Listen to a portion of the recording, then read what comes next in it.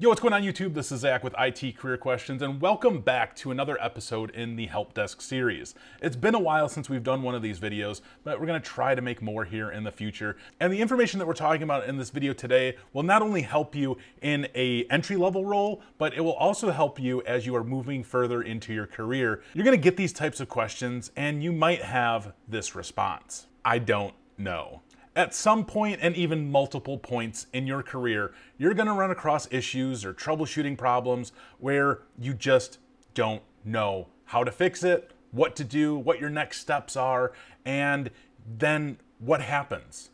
You have an end user who is communicating with you. They're on the phone with you and they're telling you about their issue and you're looking into it and you don't know. Like, how do you get over that. Before we go any further, this video is sponsored by Cybrary.it. If you're looking for IT training geared towards CompTIA, Cisco, Microsoft, and so much more, make sure you guys check out the link in the description below for Cybrary.it. Use the coupon code ITCQ50, save 50% off your premium membership.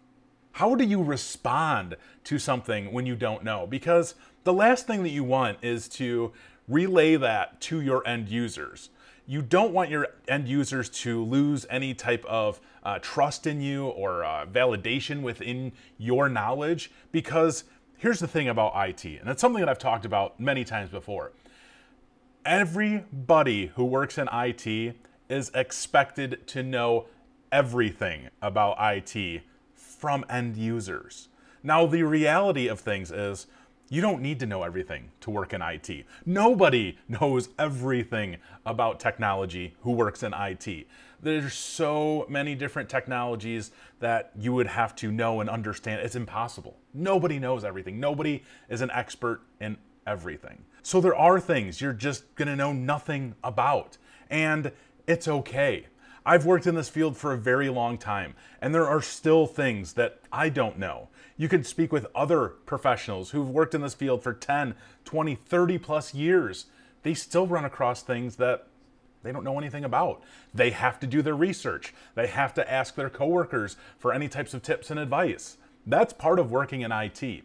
It's constantly evolving. You're constantly learning new things. So, what happens when you don't know? How do you relay this to your end user? Because this is what's important maintaining communication with your end users and assuring that they can trust you. So, when you run across these types of scenarios, I'm going to give you guys some canned responses that you can use that will greatly help you. The first classic response is let me check on some things in the background and get back to you. Next up, this is a newer issue, so we are still working on a solution. Then there's, I'm going to check and see if there's a current workaround.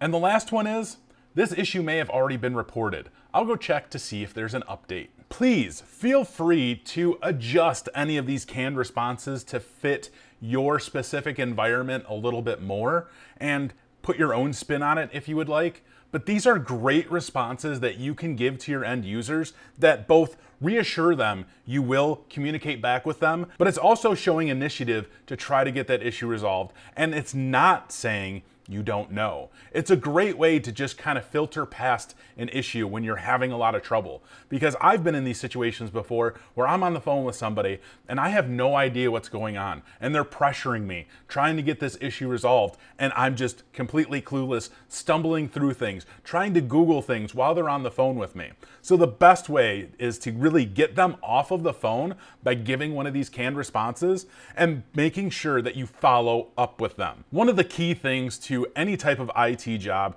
when you're working with end users is communication.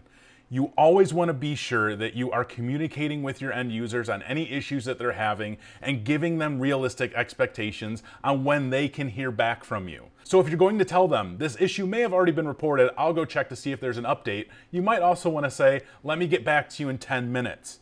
But the important thing here is get back to them in 10 minutes or less. You wanna make sure that your end users have faith in you and what you're doing. So now when you're trying to figure out what's going on with this issue, make sure you turn to your coworkers, turn to Google, utilize every single resource you have open to you to try to get this issue resolved. Now, there may be times where it's something that is going to take more work, but you need to follow up with these users and let them know. It's going to take more time. It's not something that we can get done today. Maybe it's not something you can get done tomorrow, but reassuring them that you're looking into it, you're trying to find a solution, you're seeing what's going on, and giving them a realistic time frame on when they can hear back from you next. Now, whether that issue is going to be resolved the next time they hear from you or not, that doesn't really matter. You want to make sure you contact them and just let them know a status. So I hope this video helped you guys out. As I said, whether you're getting into entry level or you're furthering your career, this advice will help you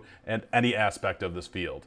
I hope you guys appreciate this video. If you guys like it, make sure you give it a like. If you haven't subscribed yet, please subscribe. I appreciate each and every one of you guys. If it wasn't for you, I wouldn't be doing this. Thank you very much for watching, and as always, take it easy.